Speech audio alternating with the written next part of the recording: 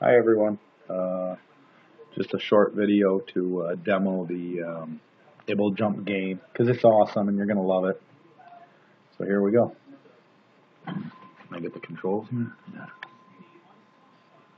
So you can control the little robot and you can jump on the line. See, it's like those old cartoons. Whee! Don't fall off, don't fall behind. Watch out for bombs. These are just kind of notes. I guess I, I don't know. I put them in so people would understand. And this is it. Whee! And you accrue points. Um, it's a pretty simple game. The idea is not to uh, show off what an awesome game it is, because it is awesome. I mean, it's got robot in it.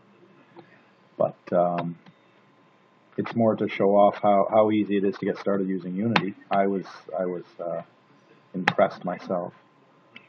I've never made a game before. This is my first effort, and it took uh, oh well, it took a while because I was writing an instructable. But um, if I was to sit down and follow the instructable, it would probably take two, maybe three hours.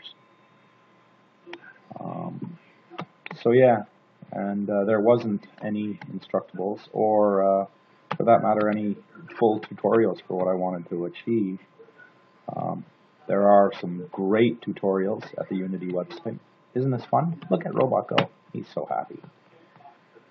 Um, yeah, I do. Uh, I do talk a lot. Oh, I died.